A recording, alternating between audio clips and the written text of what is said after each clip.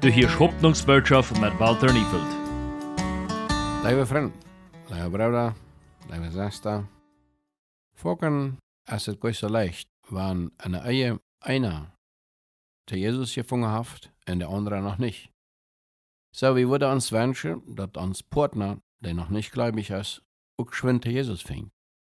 Vorken versucht wir ihm dann zu überreden. Manchmal halb dort reden. Aber manchmal, wenn wir reden dann, dann wird es äh, schlimmer. Dann gibt es einen Gegenstand. So, die Bibel sagt uns in 1. Petrus Kapitel 3, dass wir durch unserem Zeugnis können viel dazu beitragen, dass uns Partner nur Jesus fängt. Wie der auch weiter, dass uns Haus geheiligt ist, dadurch, dass einer beziert ist.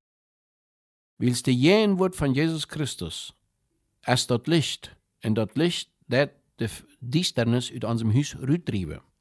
So, wenn einer beziert ist, das ganze Haus wird mit Licht gefällt.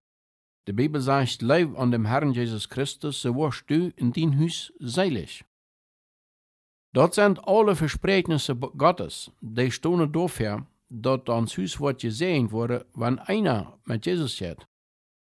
Aber das Taubleben ist vorhin gar nicht so einfach.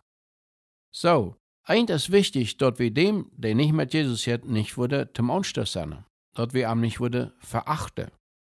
Dass wir ihm nicht würde weichsteten und sagen, du bist ein Weltmensch. Wie möchte dort klar haben, dass wenn wir Vergebung gefunden haben, dann ist das der Not. Nicht, weil wir das verdient haben. Weil Gott uns gelebt hat.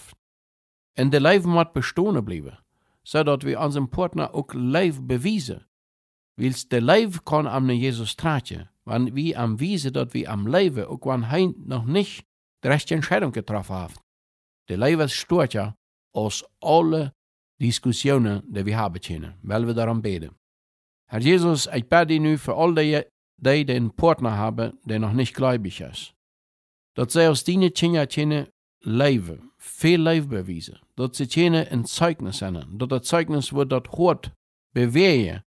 Und dass du wirst das, dass der Ehepartner auch bald eine Entscheidung trifft, Kind zu sein. Das beten wir in die Namen Jesus. Amen. Bis zum nächsten Mal mit einer Hoffnungsbotschaft. Das war eine Produktion von Jesus Responde al Mundo de Hoy. Töp macht bei der Nummer Jesu schreiben über Paraguay in der Welt.